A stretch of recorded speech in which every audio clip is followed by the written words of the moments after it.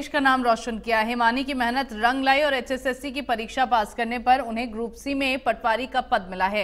हिमानी पिछले कई सालों से लगातार तैयारी कर रही थी। उसने कई टेस्ट भी पास कर लिए थे।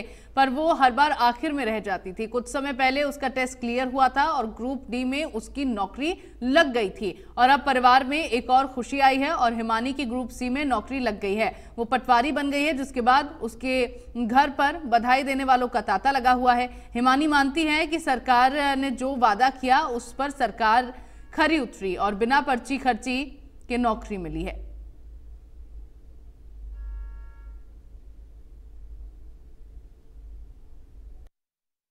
ग्रुप सी के जो अलग अलग ग्रुप थे सर उनका उनका रिज़ल्ट आया है, जो जैसे कि वादा किया था सैनी साहब ने कि मैं अपना जो शपथ लेने से पहले मैं रिज़ल्ट जारी करूँ। तो उसके लिए तो बहुत बहुत खुशी है कि भाई उन्होंने जो कहा था वो करके भी दिखाया।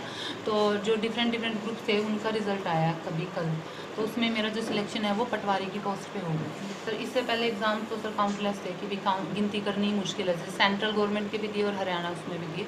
तो सर हरियाणा में इससे पहले मेरा ग्रुप डी के लिए हुआ था। तो ग्रुप डी में जैसे ज्वाइनिंग होगी मार्च में हमारी ज्वाइनिंग होगी थी। तो सर उसके बाद अब कल हुई तो दो साल से मैं तैयारी कर रही थी सर। हाँ जी मेरी बेटी की मेहनत रंग लाई जी बहुत बढ़िया खुशी है जी। कांग्रेस के बीजेपी सरकार की बहुत ज़्यादा बहुत बहुत बधाई है जी बीजेपी सरकार की। बाकी बच्चे भी जी पढ़ो जी और फिर करो जी अपना सब कुछ ऐसी होगा जी।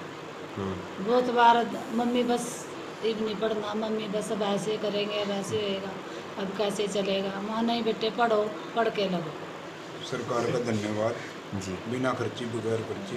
हम्म। दिन रात मेहनत करते थे बहुत। दिन रात बहुत मेहनत करती थी और बच्ची की मेहनत रंग बहुत ही खुशी का माहौल है और हमारे गाँव के छः बच्चे नौकरी लगे हैं। दो के बारे में मुझे भी पता चल चुका है। एक हमारी बेटी है पटवारी लगी है और दूसरी ग्राम सचिव लगी है और दोनों ही बच्चियाँ गरीब घर से हैं।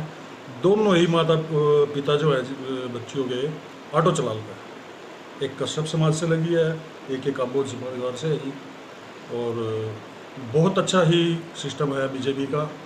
सपोर्ट है, पूरी तय दिल से सपोर्ट है हमारे लिए।